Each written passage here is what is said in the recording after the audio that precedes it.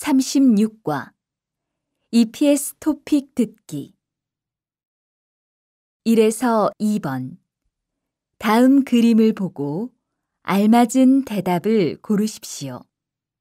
1번 1, 작업복을 입었네요.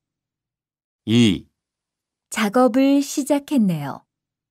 3, 작업을 하고 있네요. 4, 작업장에 들어갔네요. 2번 1. 단추를 잠그고 있어요. 2. 지퍼를 올리고 있어요. 3.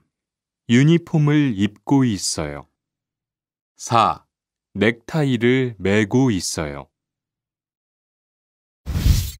3에서 4번 질문을 듣고 알맞은 대답을 고르십시오. 3번 잠깐만요.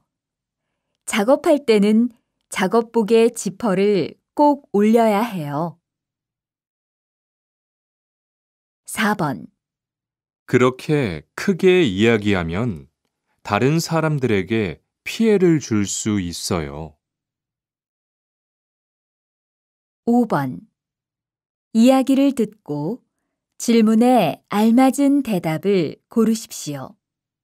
투안 씨, 왜 작업복 단추를 안 잠갔어요? 너무 더워서 좀 풀었어요. 더워도 작업복 단추를 풀면 안 돼요. 그러면 위험하니까 얼른 잠그세요.